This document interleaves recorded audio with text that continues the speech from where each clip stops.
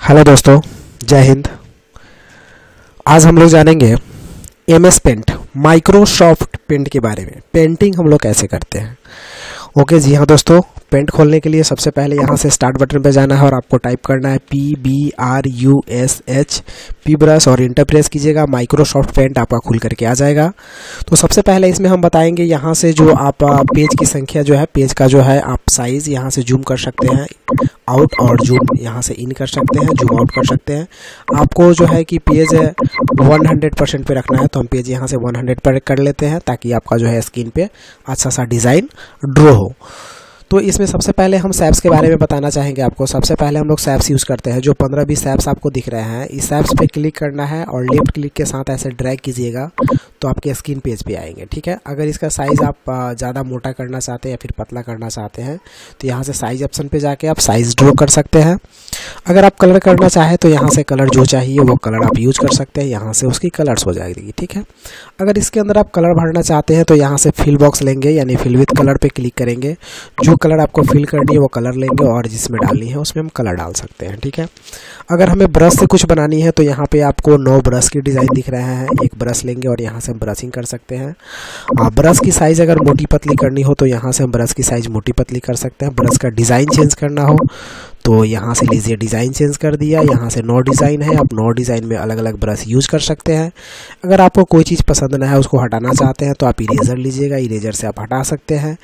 Eraser को बड़ा करने के लिए कंट्रोल के साथ प्लस प्रेस कीजिएगा इरेज़र आपका बड़ा हो जाएगा। उसके बाद आप फास्टली वर्क कर सकते हैं, अपने वर्क के हिसाब से अपना पेज में जो कुछ भी है डिज़ाइन उसे आप मिटा सकते हैं। तो इरेज़र यूज़ करने के लिए इरेज़र बटन पे क्लिक करेंगे और इरेज़र यूज़ करेंगे। अगर आपको कुछ लिखना है तो आप पेंसिल यूज़ कीजिएगा। यहाँ पेंसिल टूल्स है। पेंसिल पे जाइएगा। पेंसिल से आप कुछ भी डिज़ाइन ड्रॉ कर सकते हैं कुछ भी लिख सकते हैं। अगर पेंसिल का साइज़ मोटा पतला करना हो तो पेंसिल का साइज़ यहाँ से हम लोग मोटा पतला कर लेते हैं। साइज़ ऑप्शन पर ही जा करके जितना पतला करना हो जितना मोटा करना हो हम यहाँ से चेंज कर लेंगे। कलर की बात हुई तो यहाँ से हम कलर चेंज कर सकते हैं। जो कलर आपको पसंद है वो कलर आप यूज़ कर सकते हैं जिसकी आपकी ज़रूरत है।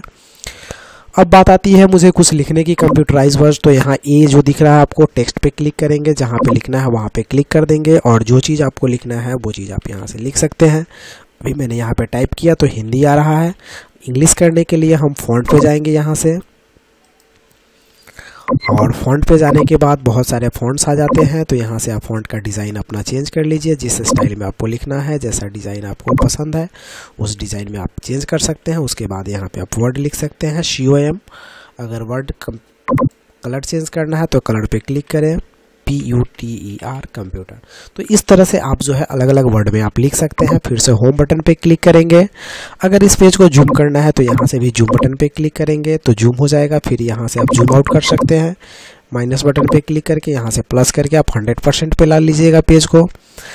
अगर आप डिज़ाइन इसको हम डिलीट करते हैं, अगर आपको डिज़ाइन अलग सी चाहिए, जैसे मान लीजिए जब मैंने ये सैप्स ड्रॉ किया, इसमें जो हम अंदर कलर फिल करना चाहते हैं, वो हम वाटर कलर करना चाहते हैं तो यहाँ से वाटर कलर ले लेंगे, यहाँ से फिल लेंगे कलर लेंगे और इसमें डालेंगे तो वाटर टाइप कलर फिल हो जाएगा। हम एक सेप्स फिर से ड्रॉ करते हैं। अगर मुझे वेल टाइप फिल करना है तो फिल पे जाएँगे। हम यहाँ से अपना नेचुरल वेल ले लेंगे। वेल ले लेते हैं। उसके बाद हम यहाँ से बाल्टी लेंगे कलर और यहाँ से कलर चूज़ करेंगे। क्लिक करेंगे तो वेल टाइप फिल हो जाता है। फिर से हम कोई ऑब्जेक्ट यहाँ पर ड्रॉ कर रहे हैं। ड्रॉ करने के बाद मुझे नेचुरल फिल करना है तो यहाँ से नेचुरल ले लेते हैं। उसके बाद कलर लेंगे। फिर यहाँ से हम कलर चूज़ करेंगे फिल में जा करके यहाँ से हम कलर डाल सकते हैं। तो इस तरह से आप डिज़ाइन बाई डिज़ाइन के भी कलर आप करके डाल सकते हैं अपने पेज में। ब्रश तो यहाँ से मैंने बताया कि आप ब्रश यूज़ कर लीजिएगा। अगर मिटाना होगा तो यहाँ से आप इरेज़र यूज़ करके इसको मिटा सकते हैं। इस फ़ाइल को यहाँ से मिटा सकते हैं। चलिए आगे ऑप्शंस देखते हैं हम लोग कुछ तो व्यूज़ में देखते हैं व्यू ऑप्शन में जाएँगे तो यहाँ से देखिए रूलर पे क्लिक करेंगे रूलर आ जाएगा, फिर हट जाएगा ग्रिड लाइन ग्रिड लाइन आ जाती है, फिर हट जाएगी आपकी स्टेटस बार नीचे से। आपको जो जूम की संख्या कर रही थी जूम आप कर रहे थे आउट और इन उसे आप हटा सकते हैं, फिर से ला सकते हैं। पेज को यहाँ से जूम आउट कर सकते हैं जूम इन कर सकते हैं हंड्रेड परसेंट कर सकते हैं और यहाँ से फुल स्क्रीन कर सकते हैं। तो इस तरह से आप पेंटिंग का वर्क कीजिएगा। आप मेरे चैनल में अगर नए हैं तो कृपया करके चैनल को सब्सक्राइब ज़रूर कर दीजिएगा। इस तरह के कंप्यूटर से रिलेटेड आपको बहुत सारे वीडियो न्यू वीडियोज़ मिलते रहेंगे। Okay thank you